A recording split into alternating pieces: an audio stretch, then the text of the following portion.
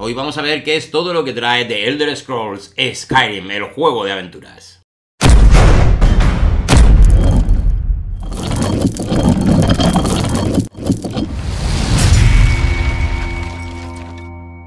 Elder Scroll Skyrim es un juego de aventuras, así que vamos a tener nuestro mapa del mundo, en este caso de la provincia de Skyrim, todo esto obviamente basado en el videojuego eh, homólogo, y donde vamos a tener que ir, bueno, pues viviendo aventuras, recorriendo el mapa y enfrentándonos a los distintos peligros que encontramos por las distintas mazmorras y demás. Es de 1 a 4 jugadores, así que venga, vamos a echar un vistazo a todo lo que trae la caja. Bueno, vamos allá, vamos a abrir la caja.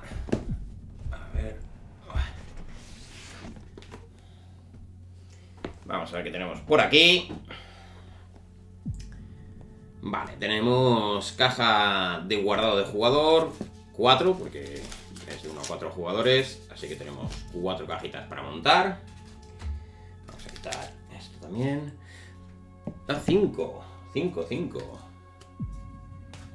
Ah, es caja de guardado de tablero. Esta es de tablero y las otras son de, de jugador. Bueno, interesante.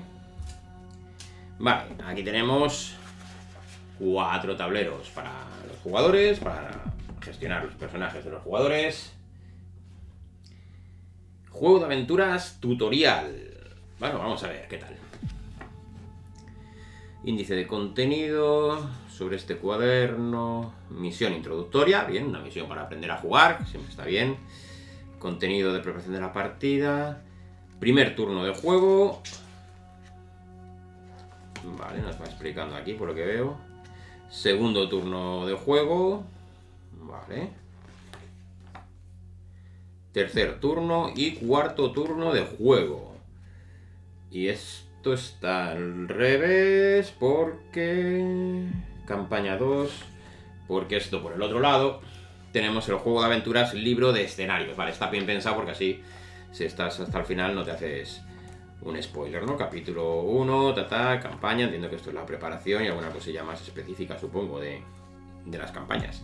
Bueno, no tiene mala pinta el tutorial. Y aquí tenemos el juego de aventuras, el reglamento. Así que el otro es para aprender a jugar y entiendo que aquí tenemos ya todas las reglas desglosadas. Pues muy bien, ¿vale? Este sistema suele, me suele gustar bastante.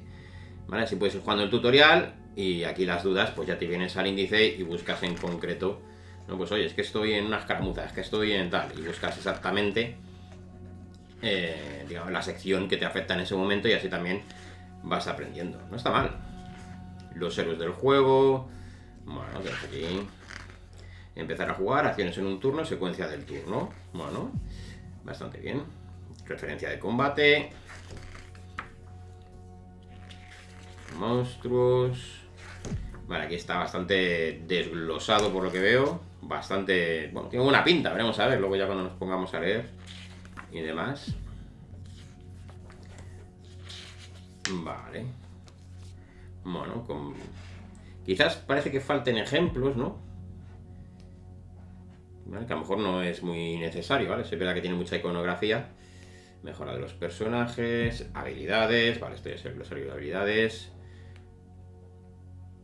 Juego en solitario, ¿eh? para poder jugar en solitario. Te viene ahí cómo guardar la partida. Ah, bueno, y aquí tenemos el desglose de cartas y, y demás. Hay un mapa del tablero, no está mal. Y guía de referencia de iconos. Bueno, esto es bastante útil, ¿vale? Sobre todo cuando hay muchos iconos, tenerlos ahí a mano. Mira, bolsitas tip para guardar los troqueles y demás, muy útil. Llegamos al tablero, que el tablero creo que es un poquito grande, ¿vale? Vamos a ver si lo puedo abrir, porque no sé si son 6 o 8 alas. Y bueno, tendré que abrir ahora el plano, vamos a ver si, si me las apaño. Voy a ver hasta dónde puedo abrir. Suscríbete. Pues sí, en efecto, son 8 alas, es, es muy grande, ¿vale? Imaginaros el tablero del Eldritch, pues con otras dos alas más, ¿vale? Es bastante grande, pero bueno, para que lo podáis ver un poco, más o menos, aquí lo tenéis por, por pantalla. Madre mía, pedazo de tablero.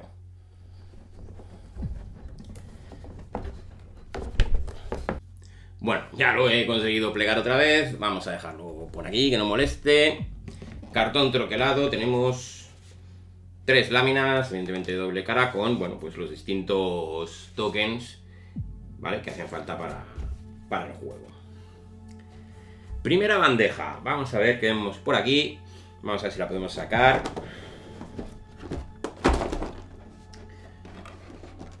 Quitamos la tapa. Bueno, tenemos aquí dados. Creo que son los dados de combate. El rojo es para... No sé si los enemigos o el enemigo, ¿vale? Porque creo, creo, que hay una miniatura que es roja, entonces a lo mejor es para la miniatura.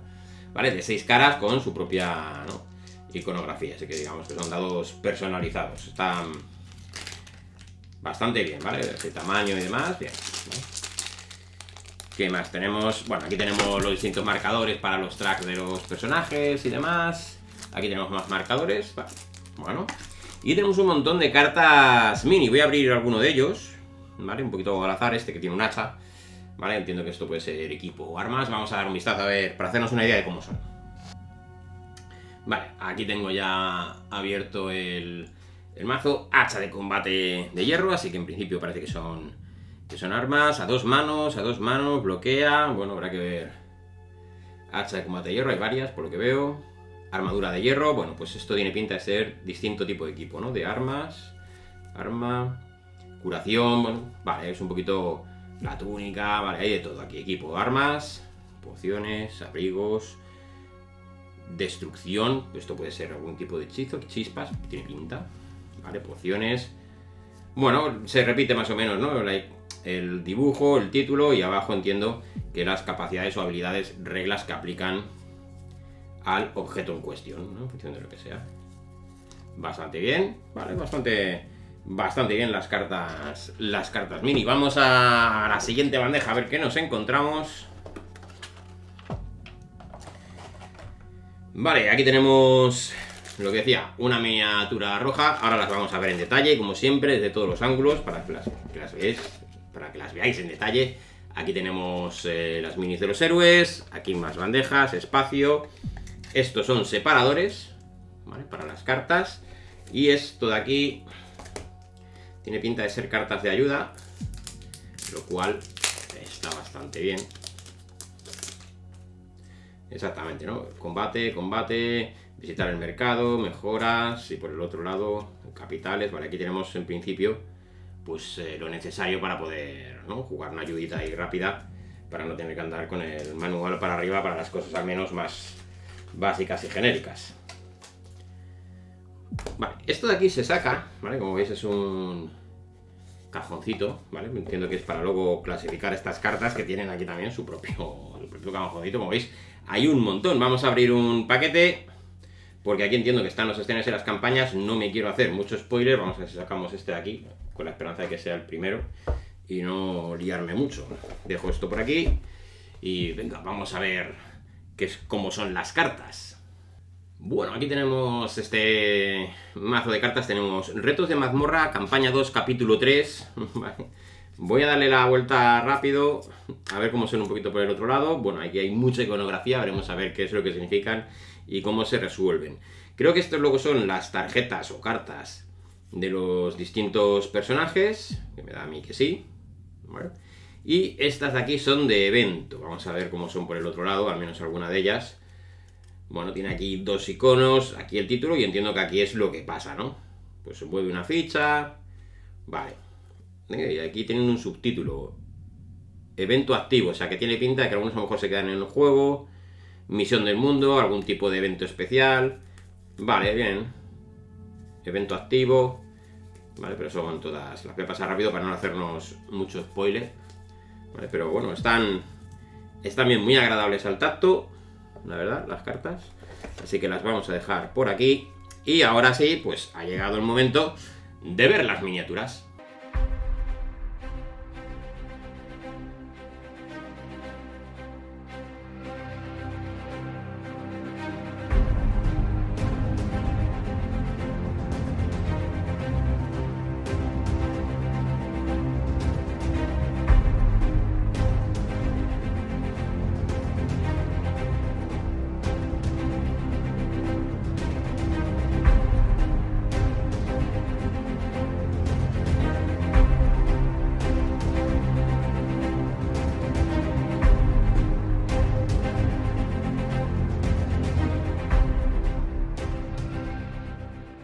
Dale un buen me gusta y suscríbete.